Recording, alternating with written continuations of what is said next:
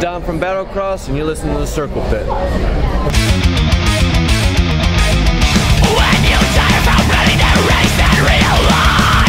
Alright, so we're here with Don with Battlecross. Let's start with the obvious. How's the tour going so far? Tour's great, hot, sweaty, lots of dudes kicking each other's ass in the pit. Can't complain. Brutal. so what's the funniest thing that's happened to you on tour so far? The funniest thing was the well, the first day of tour. It wasn't even the first day of tour. It was a pre-production day. Apparently, I got blackout drunk. I had to have at least five people explain my evening to me. I was serving people and arm wrestling everyone. Oh, damn. Sounds And like I'm not I'm not a big guy, but apparently I was arm wrestling Heidi from uh, Butcher Babies, and she had to actually put all her weight down. I'm like, "Uh, I'm drunk. You came out on top though. But as far as my fun, I, I still get people come up to me like, damn, I can't remember that. I, I still can't believe you were like that that first day. Thankfully, I'm a jolly drunk, not not a mean Oh, there you go. Any more experiences like that? Nope. Nope. I, I, yeah. Nope. I had my one and done. I mean, I'll, I'll get tipsy. We have we have mixers all the time that usually precede a day off, just so we can go out have some fun. But I'll, you know, I'll partake. But I'm, I won't black out. I, I like to remember getting into my bunk and going to sleep, not not waking up. Like, What happened? how did I get here? It's not a good feeling. No, it's not. Well, I guess an appropriate question would be, what is your favorite alcohol? Pick your poison. Beer. Beer. Good old beer. I mean, I usually swear by PBR. Most people laugh at me for that. I like my Millers and Buds and all that. I like good craft beers as well. But when it comes to saving space on the rider for tour, case of PBR, beer, dude. Keeps you company. I, I can judge beer. I can't judge liquor. You guys just came out with a new album not too long ago.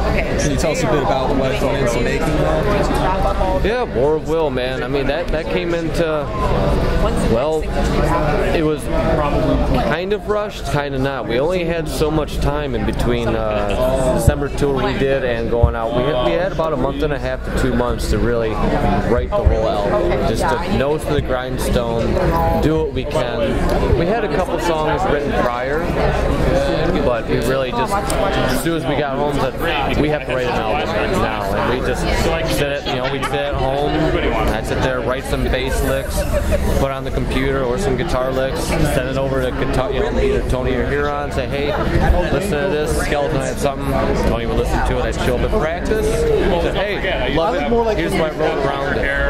Cool. Trim the fat, throw it on the wall, see what sticks. get Getting shit done. That's it, man. So how's the response been so far? Awesome. Very good, dude. I mean, everyone just. We've heard of the sophomore slump a lot of bands go through. You know, they, the second album is like. We, we had something to prove on this. It's like, no, we don't want a sophomore slump. We want a sophomore strike. We want to come out and kick some ass. And thankfully, having the guys at Audio Hammer, very chill, very relaxed, and they really made the best come out of us by not really just stressing, saying, hey, you know, I knocked out five songs in one day. He, the guy recording us, Eyal, was just like, nice, all right, do some more tomorrow. Sure, okay. It works. Hell yeah. So do you got any favorite tracks? My favorite, I love uh, going in order. I love uh, Flesh and Bone because I get I get to show off a little bit more on that one. But uh, my favorite track on the album is number six, Ghost Alive, because I wrote that. That was one of the ones that we had written before we had that crunch time. Plus, uh, Kyle, he's he told me it's like, dude, I want you to write lyrics for this song. So I have a lot invested in that song. I wrote it about an old buddy of mine who uh, served in Iraq, and he served some uh, post-traumatic stress, and just wrote about him, dude, about being an empty shell but kicking as much ass and just living through the nightmare and trying to live. Yeah, you gotta do what you gotta do. Yeah. And then another good classic one. I, I love Beast. I'm sorry. I just Beast. That one is just pure, just death, brutal. Just makes you want to drive fast. You can't drive the speed limit while listening to metal. Not possible. Not at all. Do you have any favorite songs to play live? Playing live, I love to play Man of Stone off the Pursuit of Honor. That, that song, it's just such a fun, energetic song to play. Uh, I love that we're doing Force Fed and Flesh and Bone off the new album. I'm really hoping we can come out with uh, Never Coming Back. We just did a music video for that one. I really hope we're able to start sliding that one into the set list. Because I love playing that song. It, it's only two and a half minutes. It, it actually harkens back to my punk days. I just want to just write a quick thrasher. Just like, I want pure energy. Let's go. Sounds like a good time. we Great time.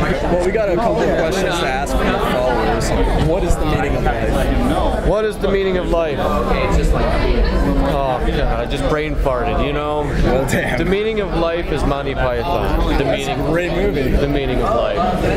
Life of Brian. I guess you can do that too. Meaning of life is just having a sense of humor, doing what you love, not caring about everyone else's can I swear? Yeah, go for it. Not, not caring about anyone else's bullshit or drama as long as it doesn't involve you. Just sit back, watch, enjoy your life, have a good time. You're gonna die, so might as well have the best damn time as, as you can. Amen to that. It's that simple. It really is. I don't have, you know, everything I'm doing now is awesome, but you know, if I had to work a nine to five, I would have done that or supported a family. But I've been lucky enough that I can get up on stage almost every day, kick some ass for people. Hell yeah. Take take what you can, man. Speaking of performing, what's your favorite city to play? I hate that question. I love every city. I do, man. Every city is awesome It's a to good play. thing. I mean, there's there's always our hometown. Where, you know, we got our, all of our friends and everything. Can't beat that. But you know, when, when you get the you the chance to play out in California, or you know, even up in Washington, I, Seattle's awesome. As far as East Coast, I mean, played Nova Scotia. I didn't even know there was a different time zone over there. It's called the Atlantic time zone. Yeah. But all through Canada, it's just I, I don't I unfortunately I don't pick favorites, man. I, I love each city as long as they come out and they're there, we're gonna come out and be there for them and give them a hell of a show. Someone asked, how can I grow a beard? I might see them grow around. Oh, that's a Gumby question. Grow a beard? Um, be a man? I mean, I guess you could be a chick and grow a beard, but that, that wouldn't be It very attractive. It does happen. But, uh, yeah, dude, just, I mean, if you have to, go get some Rogaine or something. Splash it on your neck and your chin and hope for the best. Here's a question you'll probably appreciate. Why are you guys so awesome? We're not awesome. We're not. You're awesome. You guys are awesome. Our fans are awesome. We're awesome because they're awesome. that's that's Can't have one without the other. you can.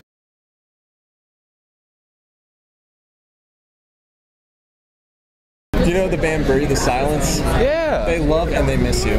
Oh. Bury the silence, Josh, everyone. Oh, I miss my Josh. He's he's my teddy bear. no, yeah, Bury the silence. Love them guys out in, out in Muskegon, West Coast. Great guys. They actually wrote something to you. That's awesome. Yeah? Miss them guys. You need to do a tour. Get on there. Heard that. Where do you get your influences from? Um, well, Typical question. it is. Do you want me to start from the past or just say like current? I Just mean, go for it, man. Whatever comes to me. well, started off punk, man. You know, I, you know, Matt Freeman. He was one of my favorite bass players of all time for the longest time. Just punk influence. And then, um, you know, when I started transitioning over into metal, I heard about you know Liv, uh, Geezer Butler, you know, uh, uh, Steve Harris. Yeah, definitely.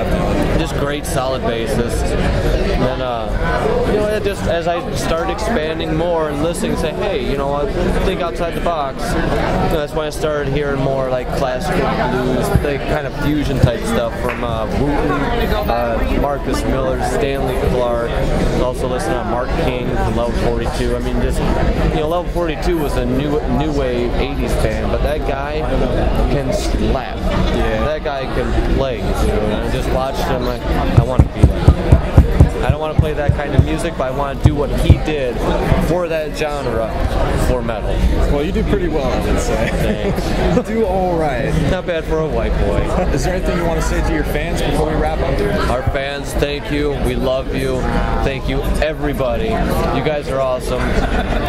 Please keep coming out. We're going to be there to shred your faces off.